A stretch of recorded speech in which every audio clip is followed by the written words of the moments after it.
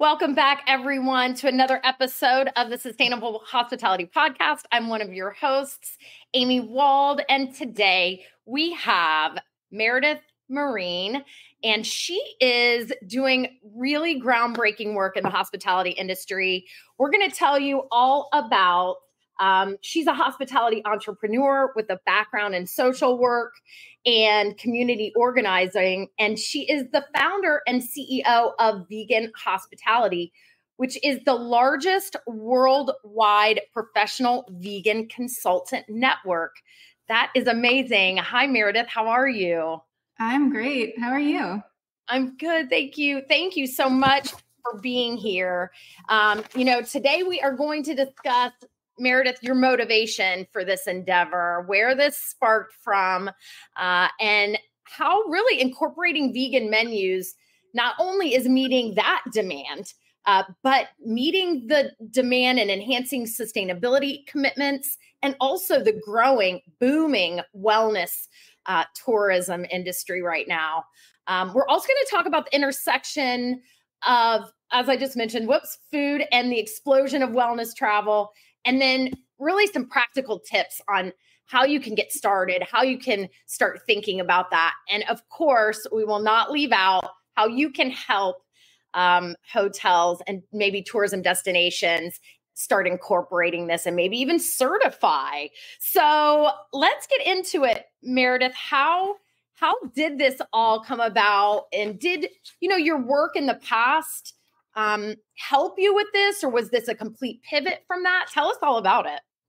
Wow, thank you for asking. You know, I never thought I would be in hospitality. I didn't go to culinary school. I didn't have the traditional entry into hospitality. I started, like you said, as a social worker. I have a master's in social work. And I did have an interest in food as a social worker. So I did my uh, social work thesis on what was happening in the school system around school lunch in America and how food affects our mood and affects child behavior around the nutrition that is being offered to students. So I had this interest in food and food justice, and I worked in New York City early in my career doing community organizing around school wellness and community wellness. And that did lead me to do some cooking demonstrations for chefs and for local restaurants and community members. So I had a bit of a background that allowed me to transition, but it wasn't something that I had set my sights on. So, what happened for me is that I ended up moving from New York City to this beautiful Caribbean island of Aruba, where I live today. And that's because of my family. I met my husband when I was on vacation. So, I have already a background in tourism, but that's a personal background, not a professional background. Uh, but it greatly influenced my life and my trajectory. And when I moved to Aruba, I became a professor at the university in the social work uh, department. So I was teaching social work, community organizing, community empowerment, advocacy, psychology. And at the same time, I was living my own life as a vegan person, uh, trying to get my needs met. And also as a new mom and having a vegan family in a country that really wasn't aware of what the word vegan meant or even vegetarian as far as what's being served within the hospitality industry. So, in order to just personally get my own needs met, I needed to advocate for myself and I needed to be very clear on what those needs were and actually be able to explain them to other people in simple ways that would allow me to live a life that was in line with my values. So, that looked like calling restaurants in advance just in order to go out to eat. Sometimes it looked like explaining to the chefs where to buy vegan food. So, where to buy tofu and then how to cook it, and then communicating with the servers when I arrived to make sure that I got the right food and speaking to the servers and speaking to the chefs after I ate to thank them, give them feedback. And this went on for months. So, trying to figure out how do I navigate this lifestyle where I don't have to cook three meals a day every single day. What if I get tired one day? You know, I have a family. Maybe I want to go out to eat like everybody else. And through this process, I built a lot of relationships within the industry. I like to say that, you know, I, I think we're all in hospitality, whether we're on one side of the coin or the other. We're either working as professionals or we're the customer. And both of those sides of those of that coin is super important in what happens in the industry and driving the industry forward. So I had these experiences, and at the same time, I decided to start a movement in Aruba to build community around the vegan lifestyle because I didn't know any other vegans. I actually didn't know anyone other than my husband and his family, and really wanted to meet like minded people. I have um, been vegan for eight years, and I was vegetarian first. I went vegetarian 20 years ago in my first year in college. So I've been living this lifestyle a long time and really wanted to find people that could help me with with finding vegan products and really support the movement. So I started this movement. Uh, it got really popular, not just amongst the people that live in Aruba, but tourists, because it's a very touristic, tourism friendly place. So I would have people messaging me, asking me where to eat and how do they find the vegan food that I'm finding when I was having chefs make it for me off menu. Fast forward to me giving a presentation at the National Restaurant Association in Aruba to these owners of restaurants, to these chefs, and explaining from the customer perspective what's going on for us when we are served the same pasta marinara at every restaurant, or when we are getting these, these mistakes coming out of the kitchen and having to send the food back. And explaining the difference between vegan, vegetarian, and gluten free because these are often messed up in, in places where there is not a lot of education or training around dietary requests and allergies. So, through that conversation with the restaurant association through this presentation i presented from the customer perspective and at the end of this presentation i had a line of restaurant owners and chefs standing in front of me handing me their business card asking me for help. And as a social worker i i truly believe that you know it's the community that should help themselves right i didn't want to come in as some american coming to another country and we're going to change your country and change your scene and so I said, you know, this is for you to do. I'm encouraging you to label your menus. I'm encouraging you to create these dishes. They said, you know, we want to attract vegan guests. We see people are requesting this. We see this as a great market to get into. We don't know how to do it. And you do, and we need your help. So I said yes. When the first restaurant owner asked me to come and evaluate his menu and give him feedback, I said yes. And when he asked me to go to the supermarket and buy some tofu and teach the chefs how to use it because they had never seen tofu before, I said yes. And when he asked me to create an event to launch their new vegan menu, I said yes. And because of all that, yes, so much happened over the course of the next few years. Aruba became recognized as the most vegan friendly island in the Caribbean after me being in 15 or so kitchens in, in my first year of consulting. And we were able to organize with the tourism board a vegan press trip for influencers to come and promote the island as vegan friendly. Um, I was on magazines, and really just so much happened within such a short um, span of time. People started asking me, How did you do this? And how can I do this in my city, in my country? So I then started a program to train other vegans around the world to do this kind of work and to support the local industries in their communities. And that's where we're at now with having this large network of vegan consultants. I've trained people in over 25 countries. And we just together launched the first hotel certification for hotels that welcome vegan guests. So it's been a very exciting whirlwind of the past seven years or so of my entry into the hospitality industry.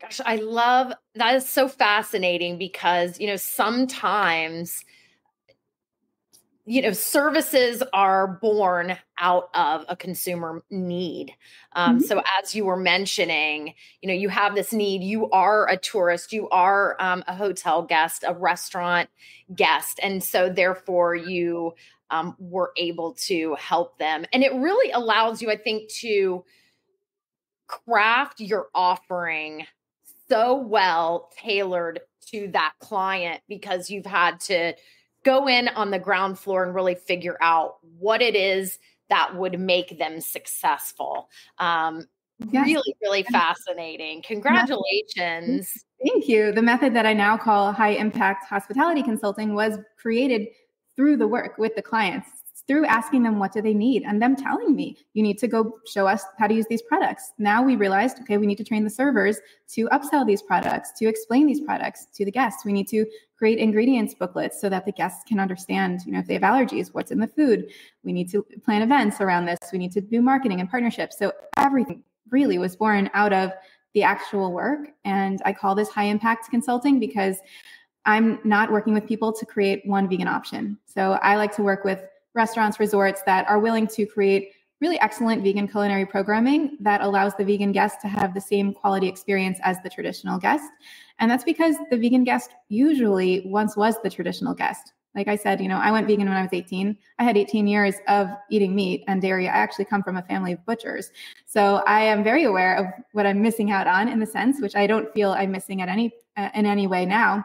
But sometimes um, I feel that chefs are expecting vegan customers to come in with very special requests or different or feeling, spe- you know, like they have special needs. But actually, they might have been not vegan the year before when they visited your resort. And now this is their first year they've gone vegan and they don't really know what to do and they want you to walk them through it you to walk them through what is an excellent vegan culinary experience and you can have an integral role to play in their journey uh, in their wellness journey or in their sustainability journey or in their ethical journey the way that they've decided to live their life and I think this is so interesting because, you know, this is the Sustainable Hospitality podcast, right? So maybe some people out there are thinking, what does vegan food have to do with sustainability? And, you know, sustainability is kind of the umbrella, right?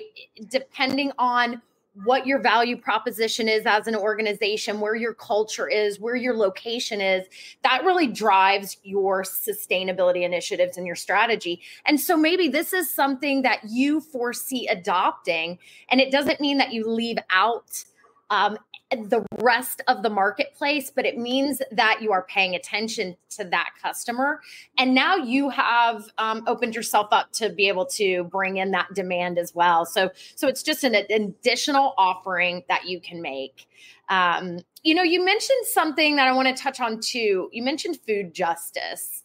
And again, this being about sustainability, I'm curious to know um, you know, and for those people out there that don't know what food justice is, because it's kind of a new terminology, um, would you maybe explain really quickly what that is? And then where do you see this intersecting, you know, vegan vegan offering intersecting with food justice? What an interesting question. I don't think anyone has asked me about food justice in 10 years since I was in my social work program. Um, and it's something I'm so passionate about. So, food justice has a lot of different aspects, and I won't cover everything here, but essentially, food justice centers around accessibility to food. So, people, no matter what your race, ethnicity, level of income, social economic status, you should have access to food that nourishes your body. And that's really the center of it.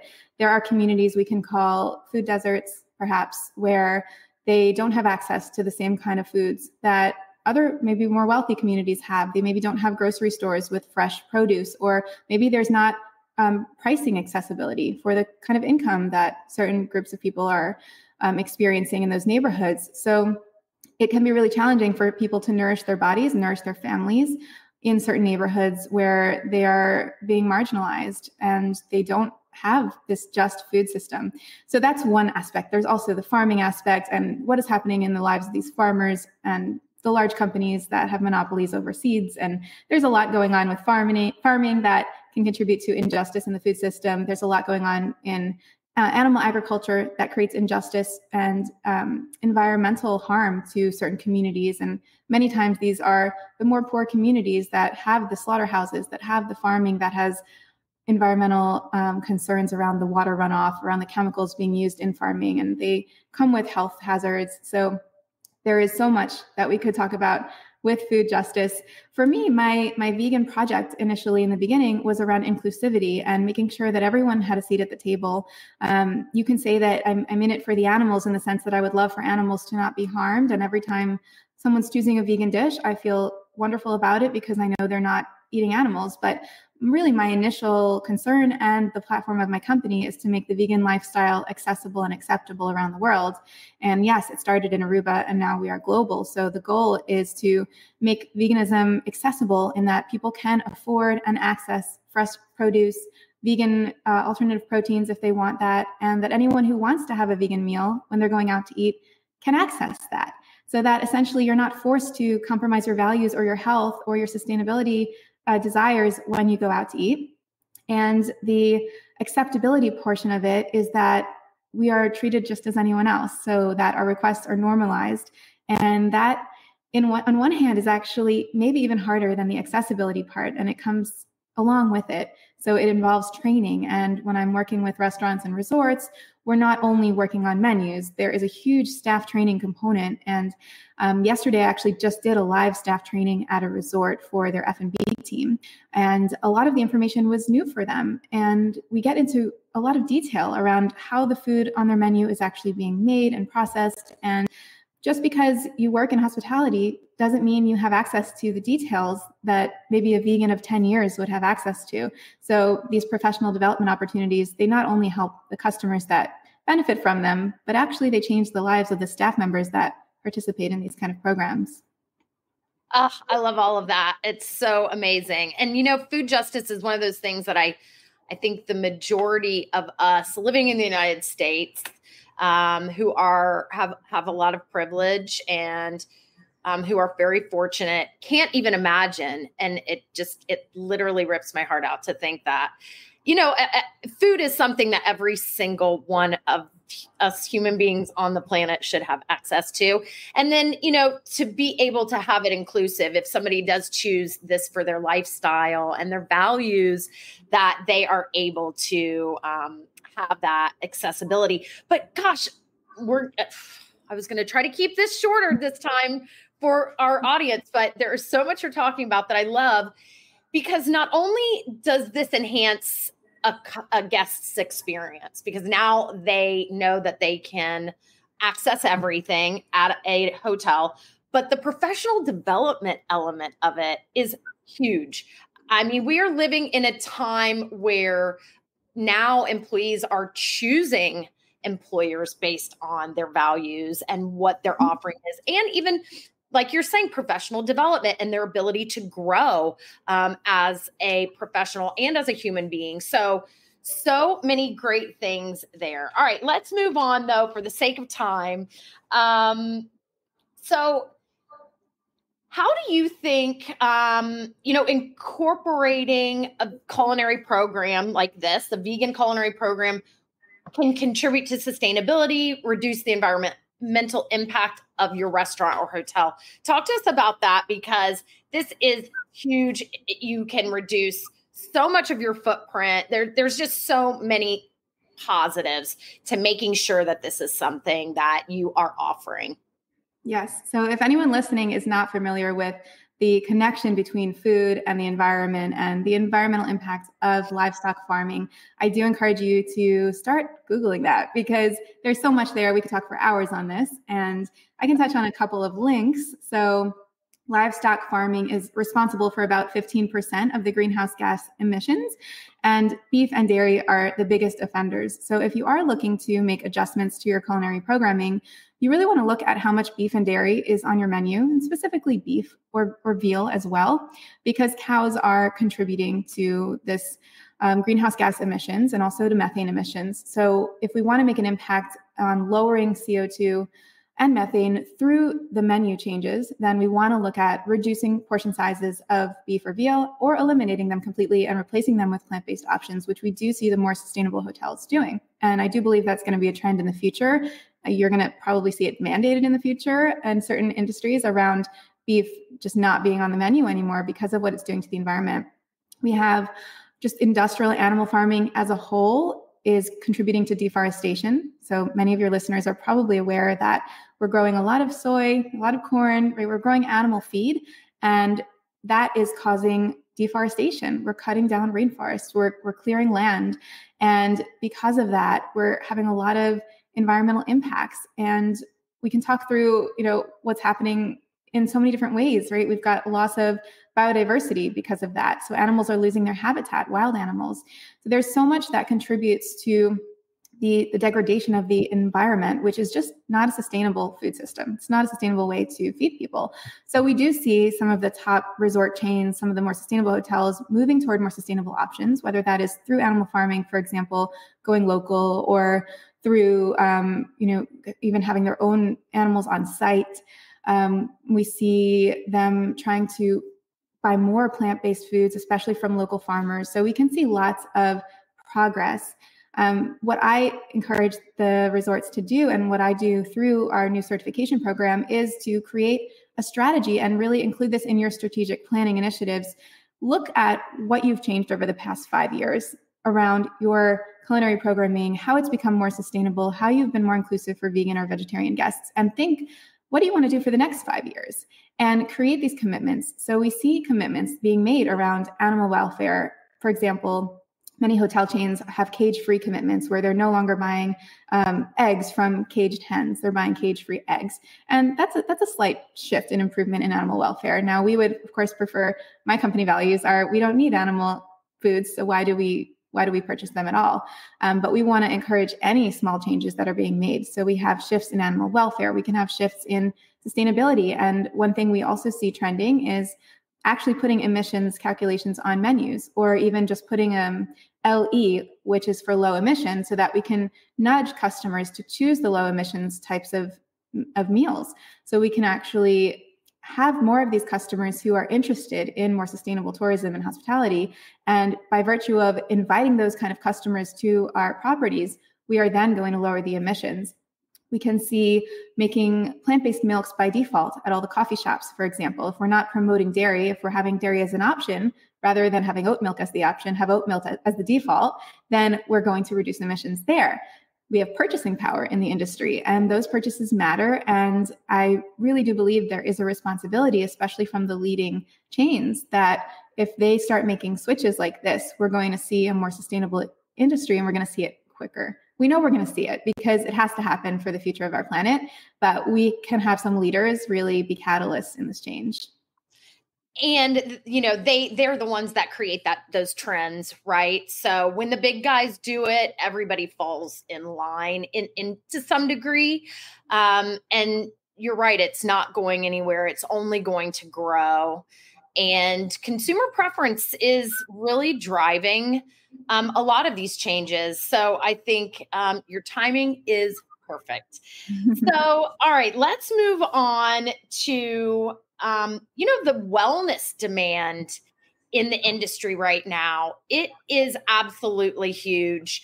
Um, tell us about how you see this helping to drive that movement.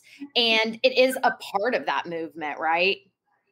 Absolutely. I was actually just invited to join um, a, a, large hotel chain a couple weeks ago to chat with their chef around creating a wellness offering. And I think that a lot of these hotels are looking to make their wellness menus into vegan menus because it it just checks more boxes. Vegan menus are actually the most inclusive menus. I know that sounds strange because it sounds very niche, but everyone can eat fruits and vegetables. Most people can eat fruits and vegetables. So it's actually more inclusive even than vegetarian because vegetarians can eat vegan food. Vegans won't eat vegetarian food because of the cheese, eggs, and honey. So we want to think how can we be the most inclusive?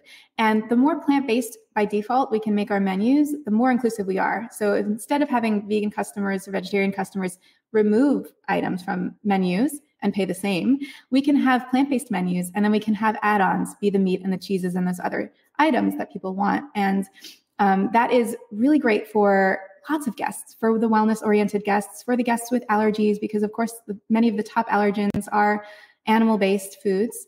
So we want to really consider how can we not just cater to these niche audiences of wellness, of vegan, but actually streamline things in the back end in our operations so that it's easy for the hotel. I find that hotels are that are prepared for these um, customers and guests in advance just have a much easier time rather than having to take these as requests and the manager sitting there on email. Okay, email the chef, email, make sure that the chef um, bounces around to every restaurant. I've seen it all inclusive resorts, a head chef like literally following the vegan guests. Which restaurant do you want to eat at tonight? I'm going to go cook for you at this restaurant.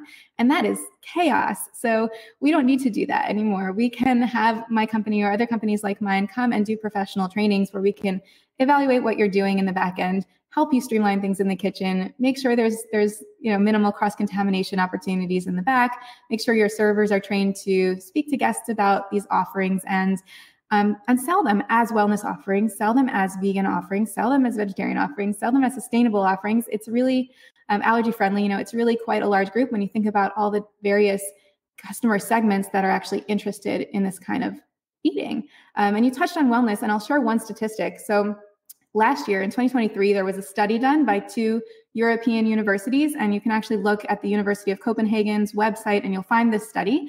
They surveyed 7,500 people in 10 European countries about their diets, and they found that 51% of people claimed they were actually reducing their annual meat consumption. So they looked back at their year and they were like, yes, this year we reduced our meat consumption. And the biggest reason they cited for that was their health. So about half of those 51% of those people said they made that choice for their health. So this is something that we really need to think about. If half half of the people, right, are trying to reduce meat for their health, we need to consider how can we make our menus and our programming more accessible so that people can come and have a great vacation and feel healthy and feel good and not feel guilty or feel like they have to go home and go on a diet. We want people to have choice and we also want the programming that we offer for our customers to match our company values. So if I'm at a Marriott, for example, my value is embrace change. So if I have that as a core value for my company, I want to think about okay, how are my menus embracing change? And some of these resorts are doing a great job with it, and some aren't yet. And we need to take a look at that from the, the upper level strategically and think how are we matching our values to the way that we treat our customers, whether it's inclusivity, sustainability as a value, which many companies have, embracing change, people first. These are all values that we see very in alignment with having excellent culinary programming for vegan guests. So this is something I'm really passionate about doing as well is just making sure companies feel like they're not adding something different or unique or niche, but actually they're just further aligning their own values with their company's own programming. Absolutely. They're just enhancing really their commitments and their offering and really you know really validating what they're doing um, because there's so much concern with greenwashing. And when you can take your commitments to this, and I don't want to say level because it this this shouldn't be looked at like it's a monumental undertaking, right? I mean, I think of course it takes strategy, it takes time, and it takes you know some capital costs, but this is just um, making sure that your messaging is is really aligning with what you're doing and i think you know that's proof. You know i came across like statistic as well and that was that 88% of the american express 2023 global travel trends report say they they plan on spending the same or more on wellness vacations compared to previous years 72% said that they're more focused on self care than they were a year ago, and 57% intend to take extended vacations focused on wellness. So, I mean, that's proof right now that this is, um, you know, it's all interconnected, and this is definitely a part of that wellness trend. So, um, so you know what do you see? Let's let's move into like some practical things as people are listening and they're thinking about their offerings and their kitchens and how they can enhance them. What kind of mistakes do you see people make you know when they're trying to make this transition or maybe ad hoc um, and and not fully making the commitment yeah, that's a great question. I, I, think the biggest mistake comes even before they are making this transition. The biggest mistake that I see is companies assuming that there's no demand for vegan options because they're not getting requests. And this is usually the initial conversation I have with my clients around what is your vision for serving vegan guests? And what would make a vegan guest know that you could serve them? So if you are not getting requests, most likely it's because they're going somewhere else where they know that they can be served. And that's a segment you're missing out on. And it's because maybe you don't have labeled vegan options on your menu. So maybe you are able to accommodate vegan guests and you're doing it upon request. And that is a great place to start. But like I shared before, it's not very efficient for your staff. And it's also not accessible to customers because not everybody's going to ask. You know, we're going to Google and look through menus and choose our vacation based on what we see looks like we could get a good experience. So we're not going to trust that someone's going to say, "Sure, we'll figure it out. We'll put it together." What we want to do is really when we're starting this this thought experiment, think about it from a non-vegan customer perspective. Like if you were just a general public meat eater, would you go to a hotel or a restaurant where they were like, "We'll make you something. We'll figure it out." Probably not. Probably that would not be acceptable for your average guest. So, when we're looking at creating a similar experience for a vegan guest, we do need a proper menu for them. We do need to have staff that understands how to respond to their interests, their questions, their, their requests. So, if you're not showcasing your vegan options, then you are probably not going to see the return on the the the guests you'd like to bring in. And this just really involves creating a vegan guest strategy to make sure that the vegan guest is not an afterthought. Um, but with restaurants and hotels that are actually making the effort, I think that the biggest thing they can do to start is to review their menu labels or actually just label their menus overall because we still see that there are menus that are missing labels. There are menus that are just not engineered properly to uh, give the right information that guests need to make these honest transparent decisions about what they want to put into their bodies. So we want to make sure ingredients are listed properly, that menus are labeled properly, and it's not just for vegan, but also for gluten free and any other allergens. We don't want to use the word vegan in the names of the dishes. We see vegan a lot used as an adjective, as if it's going to give us some information about the dish. So we might see vegan burger or vegan tacos. And what research shows is that kind of naming actually lowers the uptake of people ordering that dish. So we don't want to deter people from ordering vegan dishes at the same time as we're trying to be more inclusive of vegan guests. So, what we really suggest is making sure that your dish names and descriptions are highlighting the flavors and the tastes and the textures. So, we can say black bean burger versus vegan burger. We can say portobello mushroom barbecue taco rather than vegan taco. We want to entice customers to choose the food for the ingredients and the flavor and the experience, and not just by virtue of it happen to being plant based.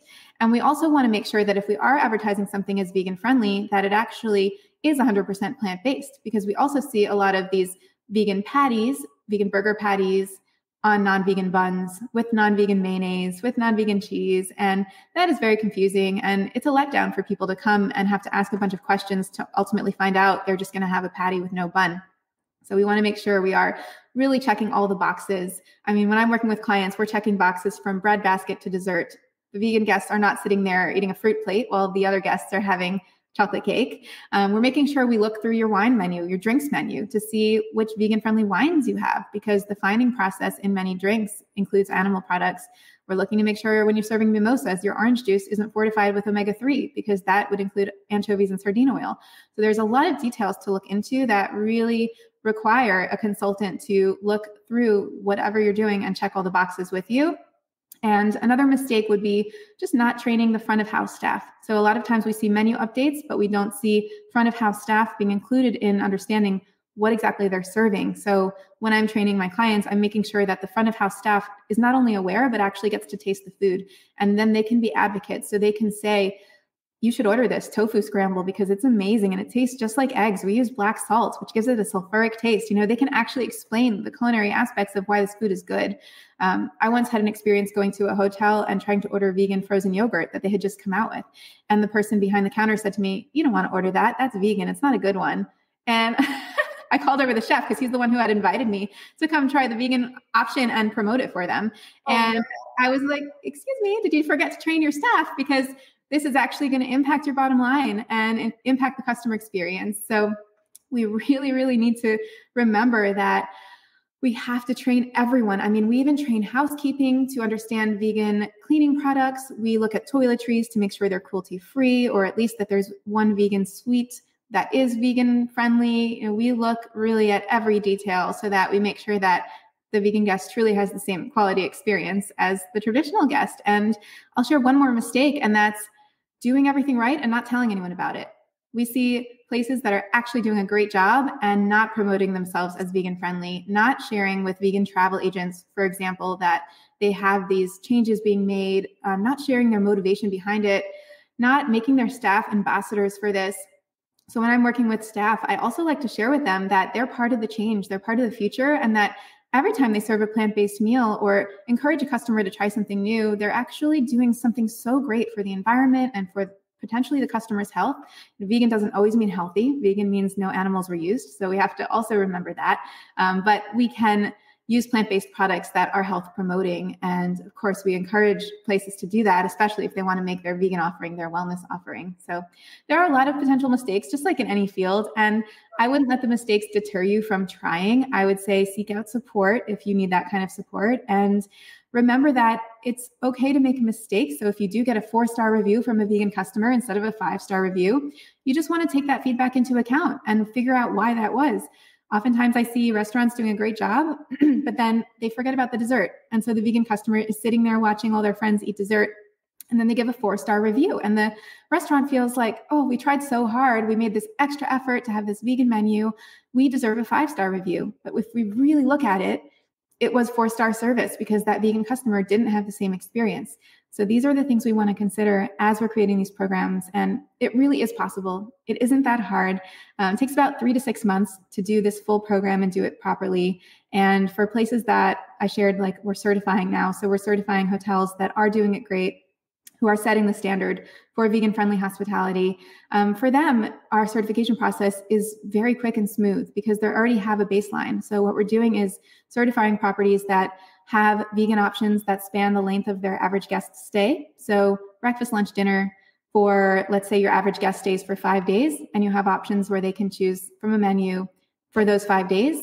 You're eligible for certification. We also require them to have dessert options that aren't just fruit and that, that really mirror the experience of the traditional guest. And that's the criteria, and also plant based milk options and taking into account cross contamination in the kitchen. Make sure we're not frying the french fries in the same fryer as the, the deep fried fish fingers. So once they meet that criteria, then they get access to our third party verified certification, but they also get access to our staff training program so that all of their staff can become ambassadors for their vegan friendly programming. Their staff gets certified as well. Our certification is compatible with LinkedIn, so their staff can then promote their certifications on LinkedIn and through their social media. And then they also have access to a consultant meeting with our our strategic planning workbook. So a consultant meets with them and then we'll walk them through this workbook so they can actually plan their vegan guest strategy for the future. So they look at what they're doing really well and think, okay, how do we want to even improve to really highlight what we're doing and attract more of this segment as it's a growing population. I mean, we know this is a growing movement. We know it's not getting, it's not going to get less. It's only going to get more as more people are understanding the effects of the plant based diet on the environment and on their health and on animal welfare. So we do see that this is not so much a trend, but a transition. And my company is really just so proud to be able to help the hospitality transition in this way. And I, you know, I want to add on to something you just said. The trend is it's going to become more of less of a trend and more of a mainstream um, because they do understand the impact um, that they're creating. But I think in addition to that, people will are starting to understand that vegan food is delicious. You know, uh, we live in Columbus, Ohio. We have some incredible vegan restaurants that my husband, he is a meat eater, but he has no problem going there and you do not feel like you're left out of anything um, it, it's it, it's just it's such a great offering when it's well thought out and you have the right training like you're saying has to be a holistic approach and mm-hmm. you know the other thing you mentioned was about menus and i had jeremy sampson on the ceo of the travel foundation a few months back and something he mentioned that i think this would have the same effect is when you first of all wording and messaging is so important as you're saying not labeling something as vegan because unfortunately there's a negative connotation to meat eaters probably but also about where you are placing that menu item placement mm-hmm. has a, a huge um, determinant on uptake and if you even can you know make that the chef special of the day you know there was some statistic that if you made a vegan or a vegetarian meal the chef special it was 80% more likely mm-hmm. to um, be chosen so very very little shifts you know after the right things are put into place um, will allow you to see that pull through reduction in cost reduction in mm-hmm. water energy and all those good things that that go along with it I, I love that you mentioned that. I'm I would call myself a menu engineering geek. because I'm, I'm always up to date on the latest research on that because I train our consultants to any, engineer menus properly to make sure that the vegan options are profitable options because that's another incentive for these places to keep them on their menus. We want them to be profitable and also vegan options can have higher profit margins if you're using plant-based products like lentils and beans and jackfruit and things that are much cheaper than meat or dairy. So we really can think through this. Um, I worked with a hotel a couple of weeks ago. We are they're now printing the new menu, and we have an entire vegan section, and it's just called specialties. That's the name of the section. And at the bottom, we have a note that all the specialties are vegan. So looking at, we have classic choices and specialties that are plant based, and that's such an interesting way to do it to guide people's eye towards specialties, but not necessarily call everything vegan this, vegan that. And what we also did is create just a lot of their dishes are just defaulted to plant based. So their pancakes are now just vegan. So that's the only pancake on the menu is a vegan one. And I've also seen this happening also at the major resorts is really not having the vegan products compete with the traditional versions of them. So if you're going to make a Caesar salad, just make your only Caesar salad the vegan one. If you're going to do tacos, make it a vegan shrimp taco because if someone wants taco, they'll try that. So not having two of everything and having them all compete with each other, but really having vegan options become mainstream. I worked with a restaurant once where we made a vegan menu and their vegan crab cake was so successful that they ended up putting their vegan crab cake on their traditional menu and taking off the actual crab crab cake. Wow. So there's no crab cake. The only crab cake is the vegan crab cake. So these are things we're going to just see more of in the future and it's very very exciting. It is exciting. And, you know, when you were talking about um, the chefs making certain things, you know, when you think about a chef and their creative nature and how much pride they take in their uh, finished product, I would am certain that they probably get so excited about these new creations they're making and these new offerings and what an element of pride they they have um, after doing that so it's just such a great way to um, you know, really enhance the offering from the guest perspective to your employees' perspective, really. So, Meredith, you've talked a lot about your certification. So, um, as we wrap up, how let's talk about what does that process look like um, and can you meet somebody what if they've started their journey and something's just not working or you know explain to us how you go in and and you really get an eye for what's gonna gonna help them turn this turn this dial mm-hmm. Well if you do represent a hotel that you feel is having positive culinary programming for vegan guests that you do have vegan options that span the guests stay, then I encourage you just to apply on our website. It's veganhospitality.com slash certified because it's free to apply. So you don't pay your annual annual membership fee until you get accepted to the program. So when you apply, it's essentially a free audit. And what we can do then is take a look at what you're doing. We go through your menus, we look at the statistics you provide for us about your average guest, and we're able to evaluate and let you know, okay, this meets our standards or it doesn't and here's what you can do next. So we are also offering suggestions on how to improve and we also offer free free consulting sessions. So anyone can sign up for a free 30 minute, minute session with myself or one of our consultants. I do like to pair the client with a consultant in the region in case they do decide to hire them for work because it's really nice to be able to come in person or at least you know speak the same language right if that's if that's a barrier. So it's really nice to just submit the form on our website and I'd be happy to pair you with someone who can help guide you through this process. But like I said, once you do apply for certification, if you do meet the criteria, then we'll invite you to join the program, which will then involve uh, the staff training, which is actually done on recording. So it's a staff training recording that you can then disseminate to your entire staff. Um, I have done some of the, these trainings live for the hotels that are certified in Aruba because it's it's really fun for me to be able to do this and get real time feedback. So I did one yesterday. Um, we have three boutique hotels certified in Aruba. I'll mention them briefly. We have the Bucuti and Tara, we have Manchebo Resort, and we have Boardwalk Hotel. And these are sustainability pioneers, not just in Aruba, but in the world. And you find that this is a movement really led by boutique hotels. So there are, of course, large chains that are making sustainability commitments, but boutique hotels have had this opportunity to really go above and beyond in ways that they have more control over on their individual properties. And because they're so interested in sustainability, they have already made the connection between sustainability in their hotel operations overall and what's going on in their culinary programming. So we are seeing a lot of the boutique hotels applying for this program because they're one step ahead and they're starting to understand already that they're getting vegan guests and they need to have their staff trained so that they can keep up with the five star reviews and they can make sure that there are no mistakes being made and also so that they can get recognized for their efforts. Because when you are part of our program and like i shared it's a new program. We just launched this on earth day this year so it's really new and we're excited that we've had such a positive response already just in the past month or so. So when you are part of our program we're also promoting and we are also connecting with travel agents. I have a travel agent um, meeting tomorrow with 10 travel agents around the world talking to them about the program so they can recommend these certified properties to their clients because once you have the certification it's clear that you've met these third party standards and so we also want to combat greenwashing like you shared and vegan washing we can call it where hotels are saying sure we can serve vegan guests and then someone shows up and actually it's not the case. And this happens a lot. I'm part of a vegan travel Facebook group of over 50,000 vegan guests. And I am very up to date on all the stories. And we hear a lot of the same stories over and over from these repeated experiences of hotels saying that they can serve vegans and it's just not the case when the guest arrives.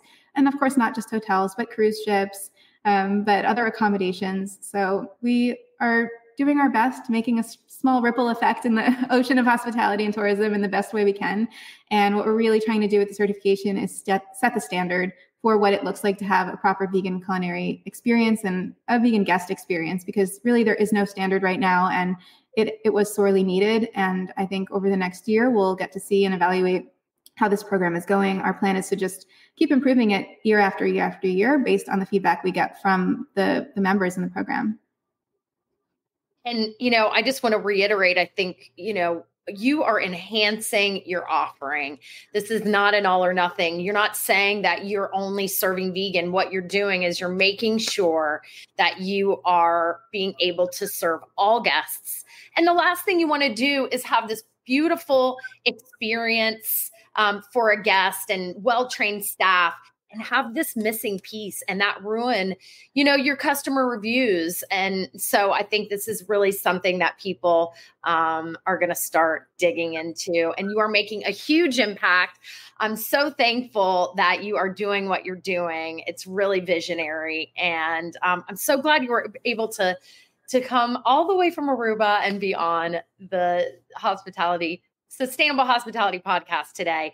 Well, remind us one more time what is your email address? And we're, of course, going to put that into our show notes um, and your website if people want to get in touch.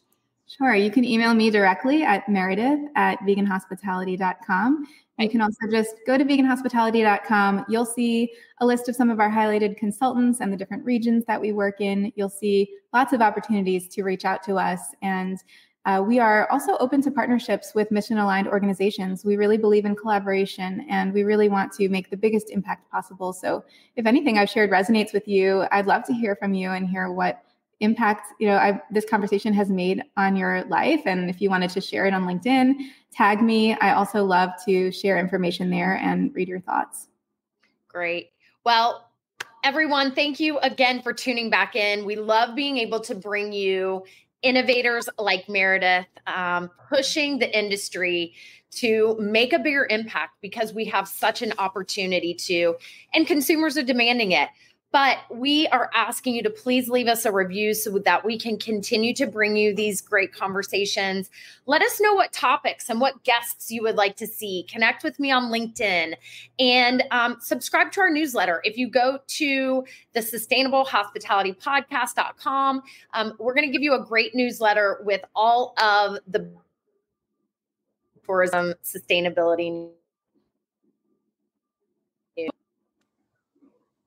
Oh, your sound is cutting out a bit right now. I don't know. I don't know if that affected the recording, but I just wanted to let you know the last sentence was a bit